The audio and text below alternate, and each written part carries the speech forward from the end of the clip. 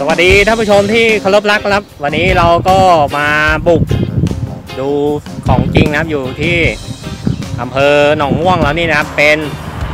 ทานตะวันนะครับท่านที่เห็นอยู่ในภาพนี้คือทานตะวันสวยๆนะครับใครอยากจะมาถ่ายรูปก็รีบมานะเพราะว่าดอกมันยังโอเคอยู่นะครับ แต่ตอนนี้ก็แดดหุบๆหน่อย ซึ่งแสงอาจจะไม่ค่อยสวยเท่าไหร่เพราะว่าเราถ่ายกันที่เวลาประมาณเที่ยงกว่าๆนะครับ ซึ่งมันไม่ใช่บรรยากาศของ โรแมนติกเท่าไรแต่มันก็โอเคนะครับ